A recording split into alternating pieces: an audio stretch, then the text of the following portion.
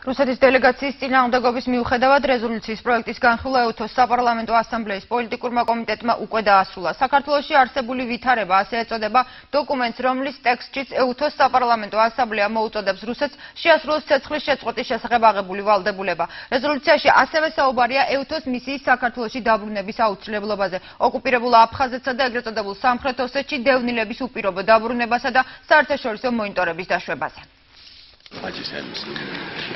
ასამბლეაზე დოკუმენტს ორგანიზაციის 56 წევრი ქვეყნიდან მხარი 55-მა დაუჭირა.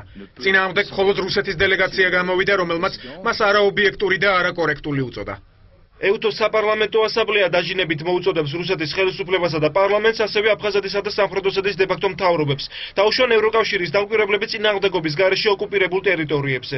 ასევე მოუწოდებს მათ უზრუნველყო ნიძულებით გადაადგილებულ პირთა უსაფრთხო და ღირსეული დაბრუნება.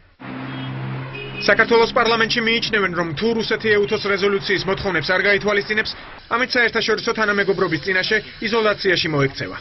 რუსეთს აქვს ერთადერთი გამოსავალი, ან უნდა მიიღოს ეს ფაქტი და დაიწყოს დეოკუპაცია და აქ ჩადენილი დანაშაულის გამო გადაეცადოს კომპენსაცია, ან წინააღმდეგ შემთხვევაში ის მიდის სრულ იზოლაციას. როგორც ლავროვის ბოლოდროინდელი განცხადებებიდან ჩანს, რუსეთი რეალურად წავა დათმობაზე ეუთოში საქართველოს ყოფილი ელჩი ვიქტორ დოლიძე ორგანიზაციის საპარლამენტო სხდომაზე წარმოქმნილ რეზოლუციას მნიშვნელოვანს უწოდებს, თუმცა აცხადებს, რომ მას მხოლოდ დეკლარატიული დატვირთვა აქვს. გაუმდინარე იქიდან, რომ საპარლამენტო ასამბლეის რეზოლუცია სავალდებულო ხასიათი არ აქვს, ის უფრო დეკლარატიული ხასიათისაა. ზოგადად იქ არის საუბარი 2008 წლის 12 სექტემბრის 6 პუნქტიანი შეთანხმების სრული შესრულებით და ის ვალდებულება აღებული აქვს რუსეთს და იგი ვერ გაიქცევა ვერასდროს სავალდებულებისგან.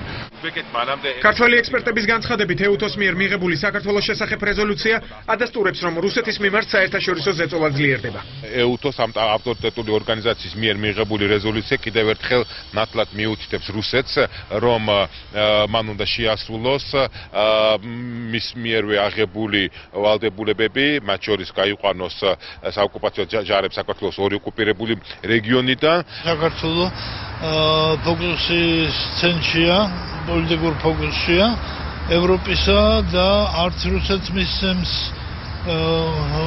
არა მართლმიერად მოქმედების საშუალებას და არც შიდა პროცესებს მისცემს დემოკრატიიდან გადახვევის საშუალებას. რეზოლუციის მიღების შემდეგ უკვე ხვალ თბილის ეუთოს გენერალური მდივანი ლამბერტო ზანიერი ეწევა და შეხვედრებს როგორც ხელისუფლების, ისე ოპოზიციის წარმომადგენლებთან გამართავს.